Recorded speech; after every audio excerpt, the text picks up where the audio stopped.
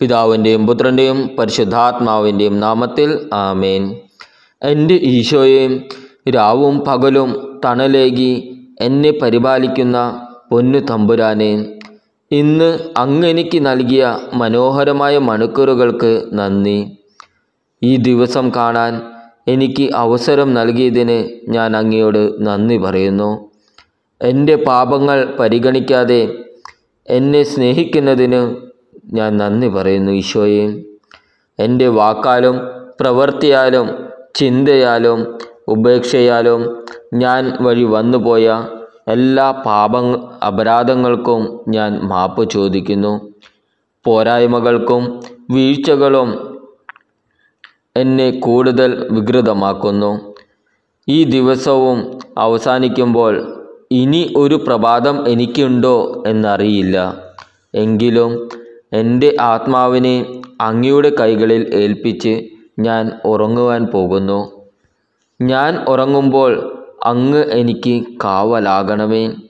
അങ്ങ് അങ്ങേക്ക് മനസ്സാകുമെങ്കിൽ സന്തോഷവും സമാധാനവും അനുഗ്രഹങ്ങളും ഒരുക്കി വെച്ച് ഒരു പുതിയ പ്രഭാതത്തിലേക്ക് എന്നെ വിളിച്ചുണർത്തണമേ.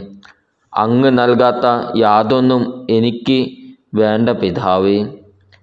ആ സമയം വരെയും അങ്ങയുടെ മറവിൽ എനിക്ക് അഭയം നൽകിയാലും അന്ധകാരത്തിന്റെ എല്ലാ പ്രവർത്തനത്തിൽ നിന്നും എന്നെ സംരക്ഷിക്കണമേ. ആമേൻ. സ്വർഗസ്ഥനായ ഞങ്ങളുടെ പിതാവേയും അങ്ങയുടെ നാമം ഉചിതമാകണമേ. അങ്ങയുടെ രാജ്യം വരണമേ.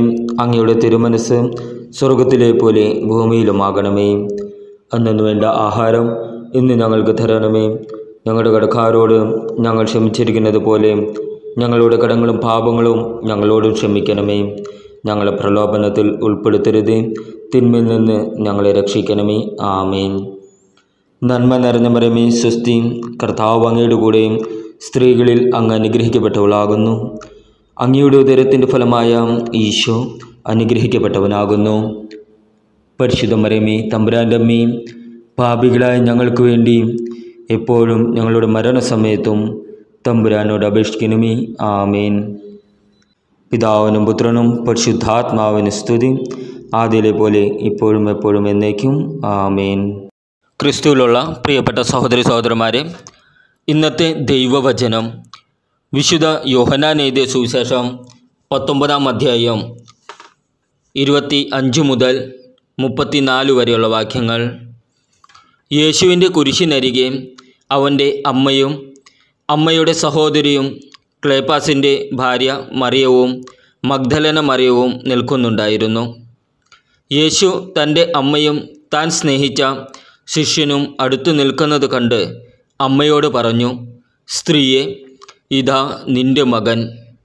അനന്തരം അവൻ ശിഷ്യനോട് പറഞ്ഞു ഇതാ നിന്റെ അമ്മ.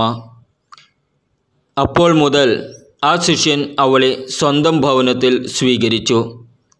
അനന്തരം എല്ലാം നിറവേറിക്കഴിഞ്ഞു വെന്ന് മൻ അറിഞ്ഞ് തിരുവഴുത്ത് പൂർത്തിയാകാൻ വേണ്ടി യേശു പറഞ്ഞു എനിക്ക് ദാഹിക്കുന്നു. ഒരു പാത്രം നിറയെ വിനാഗിരി അവിടെ ഉണ്ടായിരുന്നു. അവർ വിനാഗിരിയിൽ കുതിർത്ത ഒരു നീർപ്പഞ്ഞി ഹിസോപ്പ് ചെടിയുടെ തണ്ടിൽ വച്ച് അവന്റെ ചുണ്ടോടടുപ്പിച്ചു. യേശു വിനാഗിരി സ്വീകരിച്ചിട്ട് പറഞ്ഞു എല്ലാം പൂർത്തിയായിരിക്കുന്നു. അവൻ തല ചായച്ച് ആത്മാവിനെ സമർപ്പിച്ചു. അത് സാപത്തിനുള്ള ഒരുക്കം ഒരുക്കത്തിന്റെ ദിവസമായിരുന്നു. ആ സാപത്ത് ഒരു വലിയ ദിവസമായിരുന്നു. സാപത്തിൽ ശരീരങ്ങൾ കുരിശിൽ കിടക്കാതിരിക്കാൻ വേണ്ടി അവരുടെ കാലുകൾ തകർക്കാനും അവരെ നീക്കം ചെയ്യാനും യഹോദർ പിലാത്തോസിനോട് ആവശ്യപ്പെട്ടു. അതിനാൽ പടയാളികൾ വന്ന് അവനോടുകൂടി ക്രൂശിക്കപ്പെട്ടിരുന്ന രണ്ടുപേരുടെയും കാലുകൾ തകർത്തു. അവർ യേശുവിനെ സമീപിച്ചപ്പോൾ അവൻ മരിച്ചു കഴിഞ്ഞു എന്നും കാണുകയാൽ അവന്റെ കാലുകൾ തകർത്തില്ല. എന്നാൽ പടയാളികളിലൊരുവൻ അവന്റെ പാർശ്വത്തിൽ കുന്തം കൊണ്ട് കുത്തി.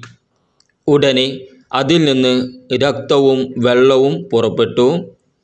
നമ്മുടെ കർത്താവായ ഇശംഷിഹായ്ക്കും സ്തുതി.